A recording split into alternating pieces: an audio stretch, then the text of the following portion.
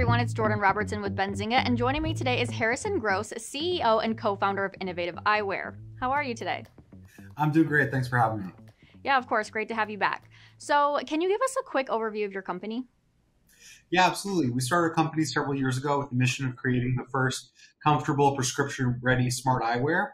Uh, we have the goal of really bringing this emerging category of wearables to the mass market and to the mainstream for the first time. Uh, eyewear is different from other wearables. There's a lot more nuance in the development and the engineering of eyewear. Uh, and you need a lot more variety to meet the needs of the optical market uh, compared to a traditional wearable. So we have a lot of challenges that we've had to overcome in really bringing this category to the mass market. Um, but that's our core focus as a company is making the category of smart eyewear affordable, accessible, and enjoyable for the average person. And what would you say sets Innovative's technology apart? Um, well, we're definitely an optical first uh, company. Uh, we develop our glasses for people that wear glasses all day, every day.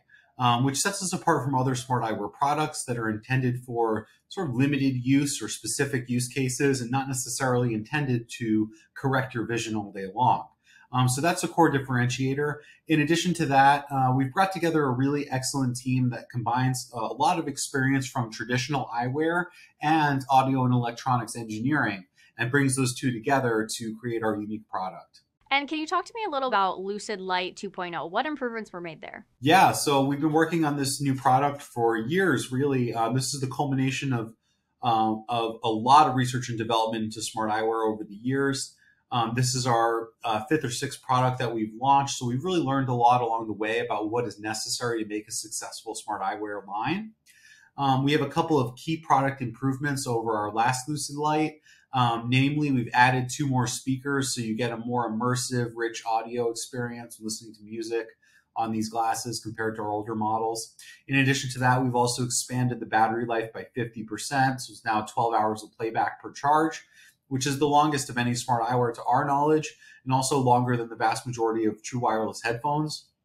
Um, so it's really an excellent tool for uh, enjoying audio all day long. Um, and uh, finally, we've got a great uh, design team working on these glasses. Um, our design team comes with experience from uh, Ray Ban, uh, Michael Kors, Coach, um, some of the leading uh, eyewear brands out there, and they've brought this expertise and this attention to detail to smart eyewear um, and it's resulted in a really magnificent looking line of smart glasses um, that doesn't look quite like anything else on, uh, that's out there today. Um, so very excited about the style of the new glasses. Uh, we just launched 10 new styles. We've got another five coming later this month. Um, and uh, we really think that these glasses have really elevated what smart eyewear can be. Wonderful. And you just announced a major update for your app, Vryb. What's new there? Yeah, absolutely. Two uh, key feature updates for the Vryb social audio application. Um, one is we've added the on air feature, which allows you to host a live audio chat room uh, with up to 100 users. Um, this is a popular feature that's been deployed in several different apps um, uh, in recent years to great effect. And what's different about it in Vryb is that uh, it's designed for hands free use. So you'll be able to uh, use this feature in Vryb to communicate with large team of people uh, through our glasses and through other hearables.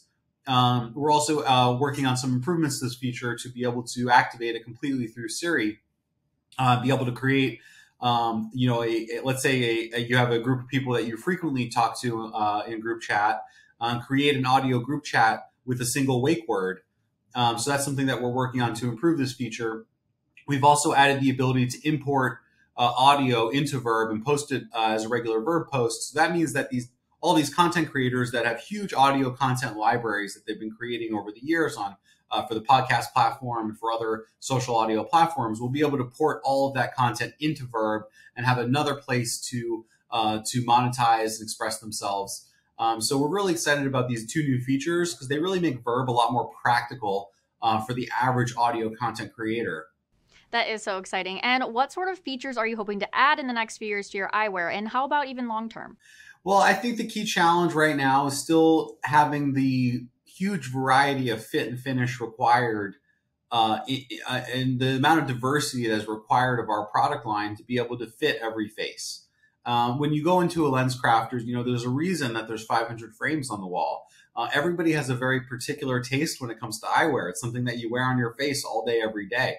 It's a true extension of your personality. So you really do need uh, a large amount of variety, not just in the sizing, uh, but in the styles as well. So that's a really um, core goal of our company is to, in the next year or so, we want to really have about 50 uh, different varieties for people to choose from so that just about everybody can find a pair of Lucyd glasses that looks good and feels good on them.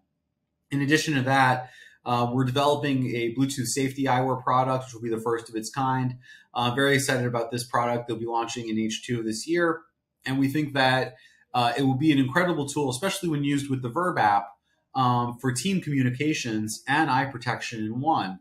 Um, so we think that that product is going to be really useful for uh, people all around the world that are working in industrial teams and need to be in close communication um, with their coworkers while also protecting and correcting their vision. In addition to that, we are uh, launching a couple of other lines of eyewear this year. Um, we have our first line of Nautica powered by Lucyd glasses coming out in the summer. Uh, we also have a line of Eddie Bauer uh, powered by Lucyd glasses, which will be coming out uh, closer to the holidays. Finally, uh, we're trying to introduce some sport frames uh, either later this year or early next year um, to be able to bring the smart audio concept into the sport performance eyewear market, uh, which we think is another great candidate for our technology. Uh, ultimately, there's four major types of eyewear ready to wear sunglasses, optical eyeglasses, safety glasses, and sport glasses. And we're looking to uh, bring our smart technology into all four of these categories. Absolutely, we love that. And lastly, what advancements in technology do we need to truly drive adoption of smart glasses and other wearables? Um, the tech is really getting there. There's not too much uh, left that's missing um, in terms of you know wearability, comfort, style, battery life. You know, all of the key pieces of the puzzle have fallen into place really in the last you know few months. Um, I think it's it, the main challenge now for smart eyewear is awareness. The average person on the street still doesn't know about smart glasses. If they do have any concept of smart glasses, it's a very hazy idea about Google Glass, which was already almost 10 years ago. Um, I think you know we just need we need awareness. We need the right influencers and the right voices. Um, you know, sharing this platform with the greater public. And, and once that awareness is there, uh, and people actually try the glasses on, uh, listen to their first Beatles song through these glasses, you know, they immediately appreciate the, what the product can do for them.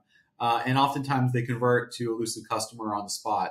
Um, so it really is about, you know, the awareness and letting people try these glasses in person, getting them in those retail locations um, to enable those experiences. Uh, once that awareness is there, uh, we're confident that smart eyewear will become um, the greater portion of the eyewear market writ large. Definitely. Well, that's all I have for today, Harrison. Thanks so much for joining us and hope to hear from you again soon. Yeah, it's been a pleasure and look forward to talking to you soon.